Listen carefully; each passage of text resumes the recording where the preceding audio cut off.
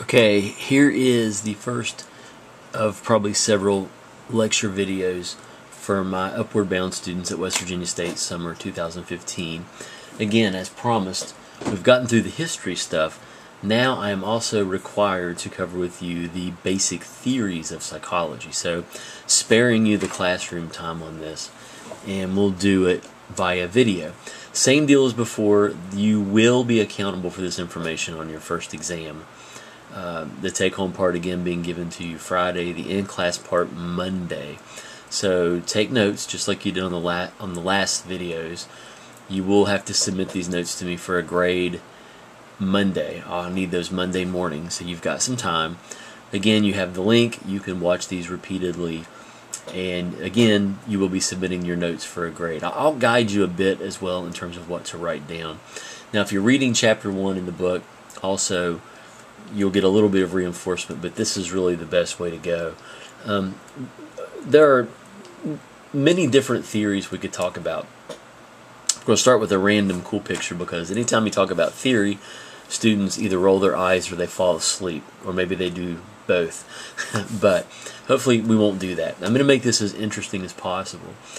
And it is important to understand these four major theories because subsequent discussions and lecture that we do is is going to draw upon these theories. So it's important to kind of understand. And I'll, like I said, I'll try to make this as um, palatable as possible.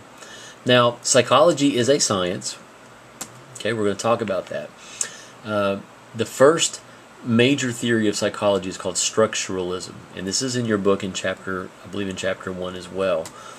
Uh, our founding father, as previously discussed, Wilhelm Wundt and a student of Wundt by the name of Edward Titchener uh, actually founded this this first theory. Okay, a theory is a broad set of assumptions that tries to explain some kind of circumstance or phenomenon. You don't have to know that, but that's what a theory is, and that's what these big theories are trying to do. They're trying to explain things that are happening to individuals.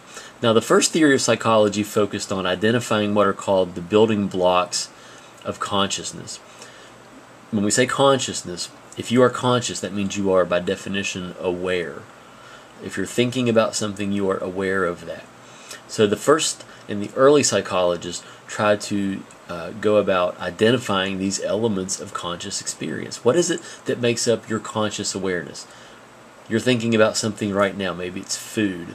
Maybe it's an exercise regimen. Maybe it's your significant other. I don't know. So that's whatever it is that you're thinking about right now. What are the elements of that conscious experience? More about that in a second. The way that we identify these elements of conscious experience is through a process called introspection. Uh, introspection literally translates to look within or to look inside of.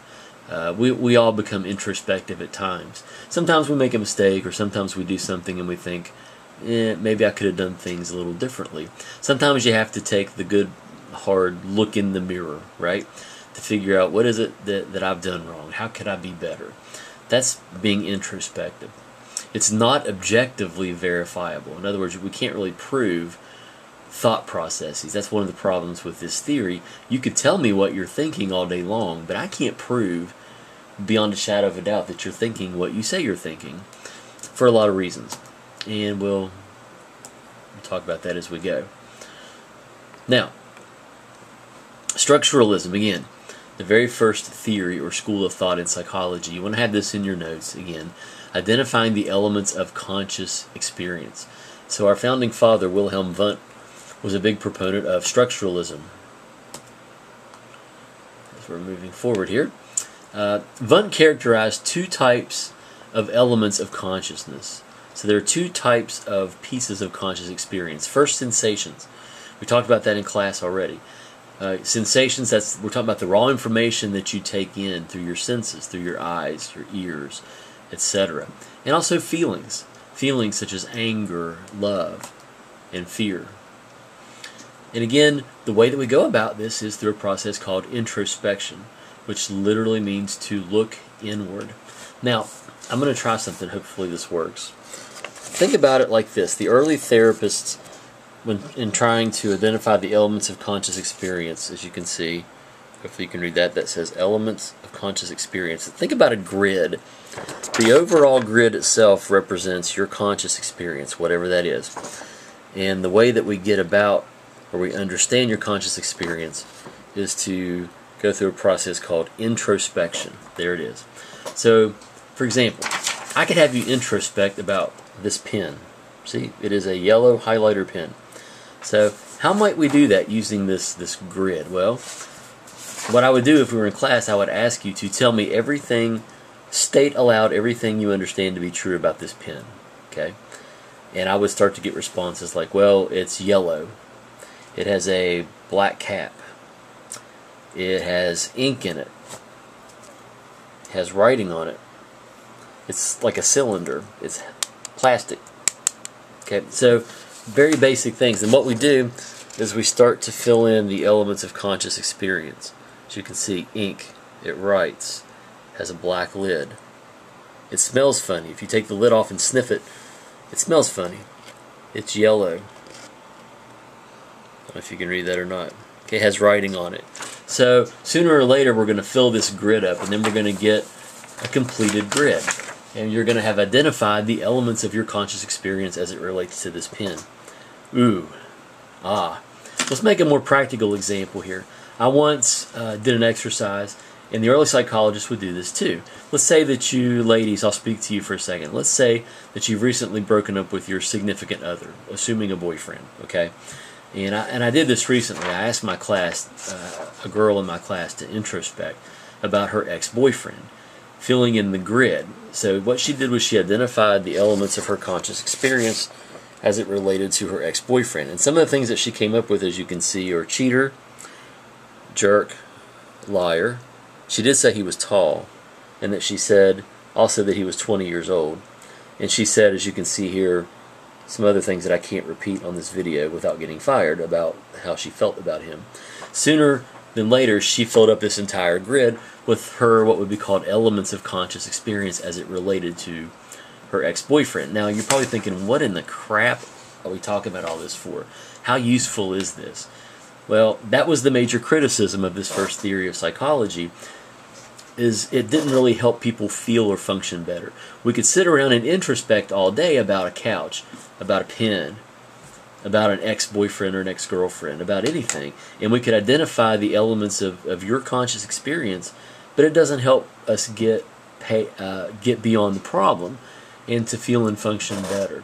What it did do, this first theory, structuralism, what it did do for us is it got us thinking about the mind and how we think and how we organize our thought processes. It got us thinking about and talking about conscious experience. So that was good. So we find that structuralism quickly passes. And then the second major theory of psychology, functionalism, comes to be. Uh, William James is considered to be sort of the founder or pioneer of, of the functionalist school of thought or functionalism theory. He was influenced by Darwin's theory of evolution. He studied how the mind helps people to function in their environment. So now the functionalists are coming along, they're coming along and saying, you know, this introspection stuff is all good and well, but how does how does our thinking and how do our thought processes help us adapt? How do they help us feel and function better as human beings? That should be the focus of psychology. What's the function? The word function is in there. What are the function of our thought processes? Um, so they focused on very practical issues initially, such as improving education. So, functionalism asks this question What are the functions of our cognitive processes? Uh, have you ever stood back and thought or wondered why is it that we think the way that we do? Do they serve purposes? Do they protect us? Do they help us become enlightened? Do they help us ultimately feel and function better? So, and let's go ahead and call that actually the end of the first part here for this video lecture. Thank you.